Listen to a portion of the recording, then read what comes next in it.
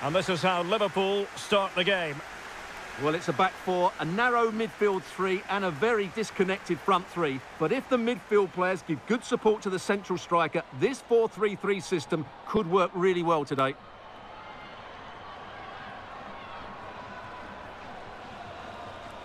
Here's the lineup for Chelsea.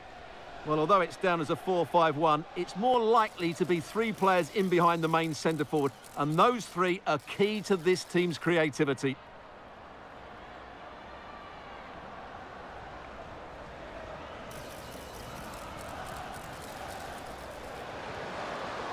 Ball back with Liverpool now.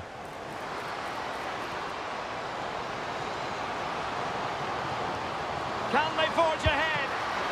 A strong hand on the ball.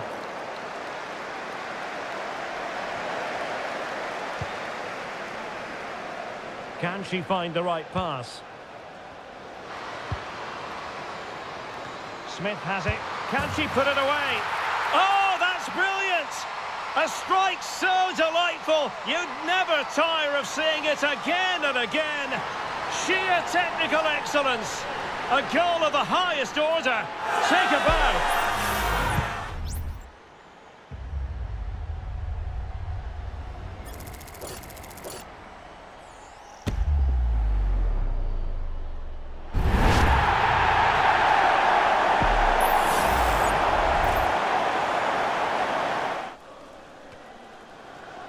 And beating her opponent.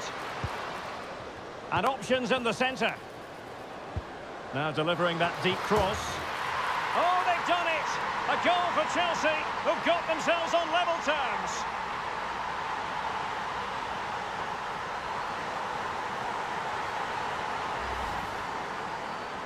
Well, here's the replay, and what a well-delivered cross this is. Perfectly placed, and then what a great finish as well. Good connection with the ball, leaving the keeper with little chance. It's a great goal.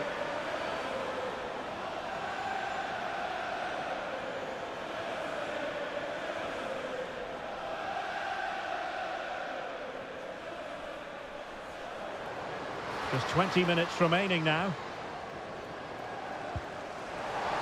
To take the lead. Oh, commanding goalkeeping. Now, options are plenty.